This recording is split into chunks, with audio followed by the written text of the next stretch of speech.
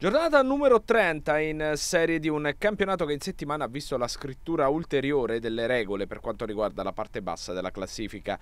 Il Consiglio federale della FIGC riunito lo scorso 17 maggio ha deciso infatti in via eccezionale riguardo solo la stagione 2020-2021 che solo le ultime due classificate di ogni girone retrocederanno nei campionati di eccellenza. Lo stesso Consiglio ha così accolto la richiesta avanzata dalla LND condividendone le motivazioni fondate sul sul ridotto numero di squadre che saranno promosse dai rispettivi campionati di eccellenza alla Serie D.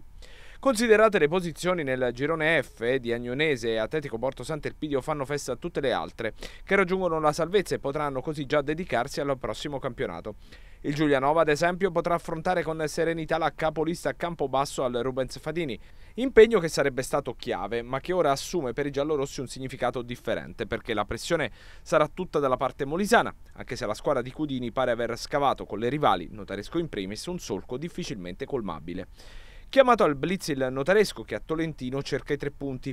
Cremisi anche loro fuori dalla questione salvezza che a 33 punti possono serenamente guardare al futuro, mentre i rossoblù di Massimo Epifani non possono fare altro che fare bottino piano in tutte le partite che mancano da qui alla fine, sperando che davanti il campo basso inciampi in qualche appuntamento. Non c'è altra via, considerati i sei punti di distacco in classifica e la gara in più che il notaresco ha disputato rispetto ai rivali.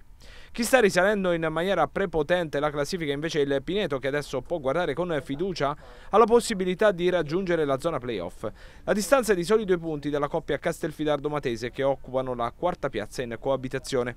Ma i biancazzurri di Marco Pomante hanno due gare in meno dei rivali e soprattutto sembrano aver trovato la quadratura perfetta di squadra.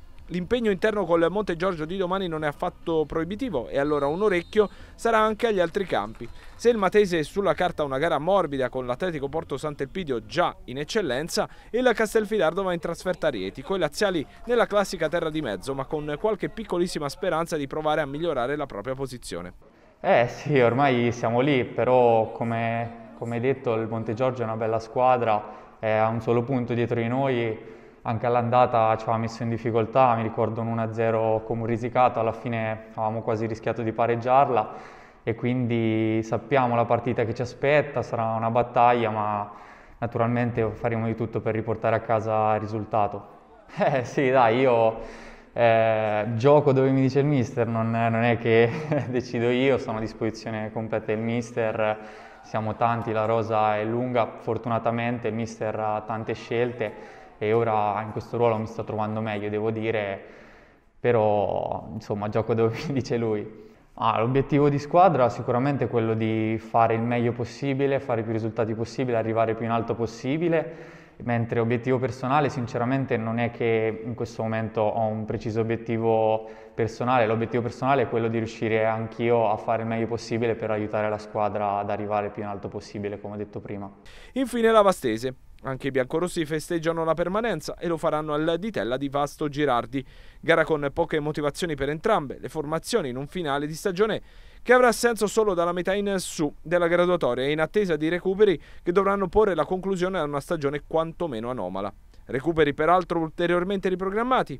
Mercoledì scenderanno in campo Atletico Porto Sant'Elpidio Atletico Fiuggi, lo scontro tutto abruzzese tra Pineto e Vastese, Giulianova Olimpia Agnonese, Rieti Aprilia e Vasto Girardi Campobasso.